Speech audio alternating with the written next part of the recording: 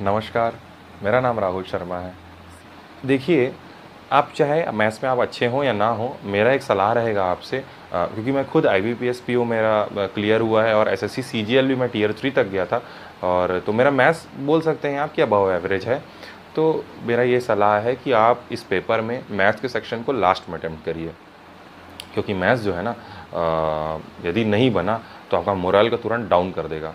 और ये आपके लिए बहुत ही ज़्यादा खतरनाक हो सकता है। आपको चीज़ें याद नहीं आएँगी उस समय पेपर में। अ, होता क्या है ना हमको पेपर याद आ जाता है पूरा। जैसे क्वेश्चन आपने देखा आपको याद है। लेकिन बाद में आपको समझ में आता है अरे यार इसमें दो चीज़ और था मैं जो लिख सकता था उस समय मुझे याद नहीं आया।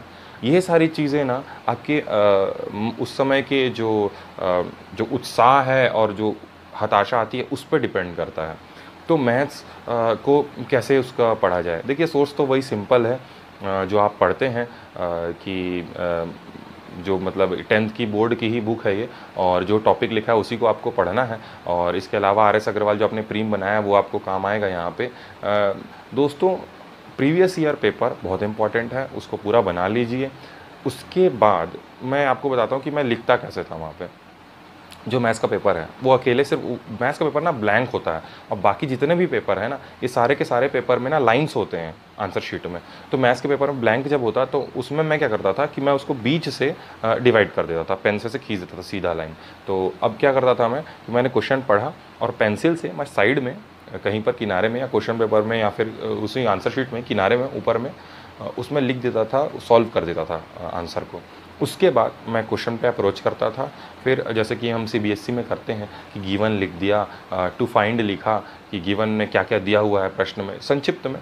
और टू फाइंड में क्या क्या दिया क्या निकालना है, प्रश्न में क्या पूछा गया है और उसके बाद सॉल्यूशन सॉल्यूशन पूरा पहले बायां साइड में लिखा, मैंने दो भाग में डिवाइड किया था, फिर दायां साइड में लिखा। दायां साइड में लिखने के बाद जब आंसर आया ना तो उस आंसर को मैं रेक्टेंगल बॉक्स में उसको बॉक्स कर देता था या उसको सर्कल कर देता था ताकि वो हाईलाइटेड दिखे मेरा आंसर उसके अलावा फिर मैं वो पेंसिल से मिटा देता था। देखिए, ऐसा करने से क्या होता था कि जो वो काटा पिटी होती है ना मैथ्स में बहुत होती है तो उससे आप बच जाएँगे और आपका आंसर शीट साफ़ सुथरा दिखेगा। तो क्योंकि यूजुअली क्या होता है, मेरा ये, मुझे ऐसा लगता है कि मैक्सिमम जो एस्पिरेंट होंगे ना, उनकी जो आंसर शीट ना मैथ्स की खासकर, वो थोड़ी काटा पिटी बहुत और गंदी बहुत दिखती होगी। तो जिसका साफ़ सुथरा दिख रहा है, उसको पहले से ही वो थोड़ा उसके लिए सॉफ्ट कॉर्नर आ जाता होगा। खैर, आपने आंसर निकाला है, तभी उसको नंबर मिलेगा। और देखिए रीजनिंग में आप क्या करेंगे? तो रीजनिंग में जो मैं करता था कि अब रीजनिंग में तो ये सब पैटर्न नहीं फॉलो होगा। डिवाइड उसमें भी करता था हालाँकि मैं आंसर शीट को आधे आधे में। उसमें मैं अ, जो स्टेप वन फिर कुछ आया स्टेप टू फिर कुछ आया स्टेप थ्री फिर कुछ आया।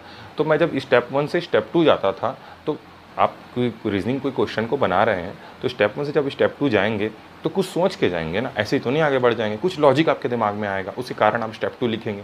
तो उस लॉजिक को संक्षिप्त रूप में ब्रैकेट में, किनारे में मैं लिख देता था। तो इससे क्या है, पूरा का पूरा आपका आंसर कंप्लीट हो गया। आपको टेंशन ये नहीं होगा कि स्टेप मार्किंग मेरे नंबर चले जाएँगे।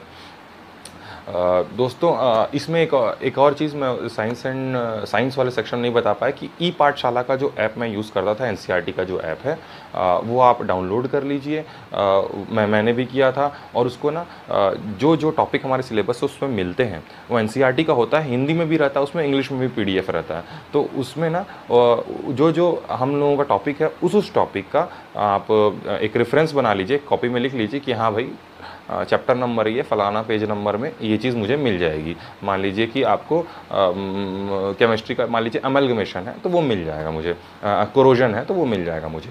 तो तो लिख लिया, अब यहाँ पर से, क्योंकि आपको पता है वहाँ पर अच्छे से दिया हुआ है तो आप वहाँ पर से उसको देख सकते हैं। लेकिन मैं यही कहूँगा, ये उन लोगों के लिए है, जो लोगों के पास समय कम है, जैसे मेरे पास था, जैसे कि आपने मेरे वो जर्नी ऑफ़ एन एस्पिरेंट वाले में आपने देखा था, मेरे पास समय कम था तो मैं ये किया था, आप यदि नोट्स बना सकते हैं तो सबसे अच्छी बात है उससे अच्छा कुछ नहीं है। हमेशा एक चीज़ याद रखिएगा नोट्स बनाने समय कि थोड़ा स्पेस दे दे के नोट्स बनाइए, ताकि कल को अपडेट करने की गुंजाइश उसमें सदा बनी रहे। दोस्तों, जाने के पहले वीडियो ख़त्म होने के पहले मैं यही कहूँगा कि ये जो आंसर लिखने का होता है कि बहुत लोगों की ये शिकायत रहती है कि मैं तो आंसर लिखा हूँ, लेकिन मेरे को पूरा नहीं मिला तो टॉपर ऐसा क्या लिख देता है? देखिए टॉपर भी सामान्य तरीके से ही आंसर लिखता है। कोई सब बहुत ज़्यादा एकदम स्टाइलिश वर्ड्स नहीं होते हैं। टॉपर बस है, वो पूरा लिखता है। पूरा मतलब जो उस क्वेश्चन की मांग है, उसको वो पूरा कर जाता है। इसलिए टॉपर को पूरे नंबर मिल जाते हैं। तो उस तो इसके लिए आपको अपने नोट्स में जो आपने बनाया है, नोट्स, संक्षिप्त में नोट्स जो बनाया है आपने, वो नोट्स के आंसर यदि आप पूरी की पूरी मेमोरी में रख करके आंसर एग्जामिनेशन हॉल में लिख सकें तो समझ लीजिए कि आप भी टॉपर हैं। टॉपर होना कोई बड़ी बात नहीं है। Subscribe now and press the bell icon. Never miss an update.